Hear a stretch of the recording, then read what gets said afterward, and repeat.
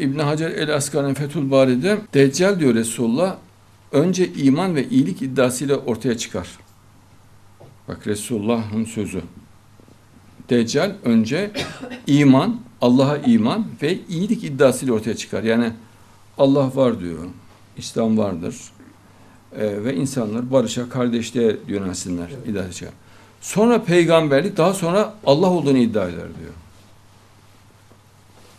Ve ahir zamanda çok fazla deccal oluşacağını söylüyor. 30'un üstüne deccal oluşuyor diyor.